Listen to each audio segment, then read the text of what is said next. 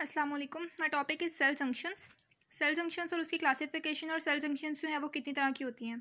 Cell junctions की सबसे पहले definition cell junctions are specialized adhesive contacts that are characterized by special structural features which can be studied under electron microscope cell junctions का function ये होता है कि ये दो सेल के बीच में एक कॉन्टैक्ट डेवलप करती हैं।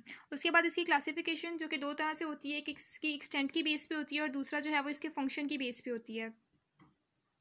एक्सटेंड की बेस पे हम इसे तीन तरह से क्लासीफाई करते हैं। सबसे पहले zonula then fascia and then macula zonula में एक्सटेंड क्या होता है कि सेल मेम्ब्रेन का जो सारा पेरीमीटर है, वो जंक्शन बनाने में इन्वॉल्व होता है। फेशिया में सिर्फ़ एक छोटा सा बैंड जो है, वो सेल जंक्शन बना रहा होता है। और मैक्यूला में बस एक स्पॉट इन्वॉल्व होता है। उसके बाद फ़ंक्शंस फ़ंक्शंस की बेस पे भी तीन तरह से क्लासीफाई करते हैं इसे। Occluding junction anchoring junction and communicating junction occluding junction जो है वो इसको टाइट जंक्शंस भी कहते हैं और इसका बेसिकली फ़ंक्शन ये होता है कि ये दो सेल मेम्ब्रेन के बीच में जो इंटरसेलुलर स्पेस है उसे कम्प्लीटली ब्लॉक कर देती है ताकि वहाँ पर किसी भी चीज़ की जो है वो डिफ्यूजन ना हो सके और ये ज़्यादातर जो है वो जोनीला टाइप की होती हैं। उसके बाद आ जाती हैं एंकरिंग जंक्शंस एंकरिंग जंक्शंस जो है वो दो सेल्स को आपस में एंकर कराती हैं। इसकी फर्दर फोर टाइप्स होती हैं zonula occludens zonula adherens zonula macula adherens etcetera then comes the communicating junctions. Communicating junctions are also called as gap junctions. ये बेसिकली कम्प्लीटली ब्लॉक नहीं करती हैं, बल्कि ये ट्रांस मेम्ब्रेन चैनल डेवलप करती हैं, जो कि ट्यूबुलर नेटवर्क होता है, जिसके ज़रिए से एक सेल के अंदर से दूसरे सेल के अंदर जो है वो मॉलिक्यूल जो है वो ट्रांसफ़र किए जा सकते हैं।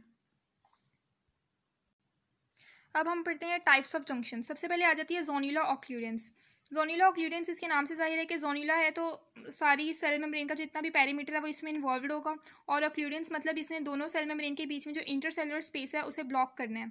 अब इसमें जो ट्रांस मेम्ब्रेन प्रोटीन्स इन्वॉल्व होती हैं, जो कि ये जंक्शन बनाती हैं, वो होती हैं क्लॉडेंस एंड ऑक्लूडेंस और ये बेसिकली सारी सेल मेम्ब्रेन को फ्यूज़ नहीं करती आपस में, ये कुछ पॉइंट्स पर जो हैं वो आपस में फ्यूज़ करती हैं और उन्हें हम फोकल फ्यूजन्स कहते हैं। ये दोनों साइड से आएँगी आपस में और सेलर स्पेस में आकर फ्यूज़ कर जाएँगी और सेल के अंदर साइटोप्लाज्म में एक्टिन फिलामेंट्स के साथ जो है ये जियो वन एक क्लाइकोप्रोटीन होती है, उसके ज़रिए जो है ये कनेक्टेड होती हैं। The second type is zonula adherens zonula adherens में क्या होता है कि एक कडहेरेंट फैमिली का जो एक प्रोटीन है, ई कडहेरेंट वो इसमें इन्वॉल्व होता है, जो जो कि इसका ट्रांस मेम्ब्रेन प्रोटीन है। इसका आधा पार्ट जो है वो सेल के अंदर प्रेजेंट होता है और आधा पार्ट जो है वो सेल के बाहर प्रेजेंट होता है। तो जो इसका एक्स्ट्रा सेलुलर सेलुलर पार्ट है, वो कैल्शियम आइंस के ज़रिए, जो कि सेल एक्स्ट्रा सेलुलर मैट्रिक्स में प्रेजेंट होते हैं, उनके ज़रिए कनेक्टेड होता है। और इनसाइड द सेल ये दो प्रोटीन्स कैटनिन एंड विनक्यूलिन के ज़रिए जो है वो साइटोप्लाज्म के साथ एक्टिन फिलामेंट्स के ज़रिए जो है वो कनेक्टेड होते हैं। और जो हमारी बॉडी में नॉर्मल इंटरसेलुलर स्पेस होती है that twenty nanometer then there is fascia adherens fascia adherens are similar in structure to the zonula adherens लेकिन क्योंकि ये फेशिया होते हैं तो इसमें सिर्फ़ एक छोटा सा बैंड इन्वॉल्व होगा और सारा पेरीमीटर जो है वो सेल का इन्वॉल्व नहीं होगा। और इसकी लोकेशन जो है वो cardiac muscle cells smooth muscle cells neurons and neuroglial cells होती है। Then there is macula adherens macula adherens को हम डेस्मोसोम्स भी कहते हैं या फिर इसको हम स्पॉट वेल्ड भी कहते हैं। ये ख़ास तौर पे जो है वो एपिथेलियल सेल्स के अंदर प्रेजेंट होती है। सिंपल एपिथेलियल सेल्स की लेटरल मार्जिन के ऊपर और जो स्ट्रेटिफाइड एपिथेलियल सेल्स होते हैं, उनके ऑल अराउंड ये प्रेजेंट होते हैं। और यहाँ पर डिफरेंस ये है कि जहाँ, यहाँ, ये वहाँ प्रेजेंट होते हैं जहाँ पर इंटरसेलुलर गैप जो है वो थर्टी नैनोमीटर होता है, जबकि नॉर्मली हमारी बॉडी में जो है वो ट्वेंटी नैनोमीटर होता है। और इसके अंदर एक डिस्क शेप्ड प्लेक होता है जो दोनों side of the cell membrane के अंदर प्रेजेंट होता है। और ये जो प्लेक है, ये दो प्रोटीन से मिलकर बनता है डेस्मो डेस्मोप्लेकिन्स एंड प्लेकोग्लोबिन्स और जो ट्रांस मेम्ब्रेन प्रोटीन इसमें इन्वॉल्व होती हैं, वो डेस्मोक्लिन्स एंड डेस्मोकॉलिन्स हैं, जो कि ऑपोजिट साइड से आके आपस में फ्यूज़ कर जाती हैं। और साइटोप्लाज्म के अंदर से जो इंटरमीडिएट फिलामेंट्स हैं, वो आके प्लेक के साथ कनेक्टेड होते हैं।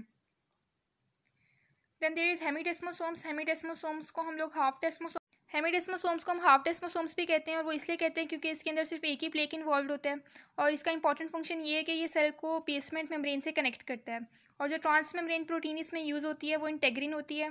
इंटेग्रिन एक साइड से सेल के अंदर प्लेक के साथ कनेक्टेड है और दूसरी साइड से बेसमेंट मेम्ब्रेन के बेजल लेमिना और कोलेजन टाइप फोर से कनेक्टेड होती है। और साइटोप्लाज्म के अंदर से इंटरमीडिएट फिलामेंट्स आकर जो है वो प्लेक के साथ कनेक्टेड होते हैं जो कि कैरेटिन टाइप होते हैं। The last one is gap junction जो कि कम्युनिकेटिंग जंक्शन होती हैं और इसका फ़ंक्शन ये होता है कि दो सेल के बीच में कम्युनिकेशन डेवलप करता है। इसे मैक्यूला कम्युनिकेंस भी कहते हैं और नेक्सेस भी कहते हैं।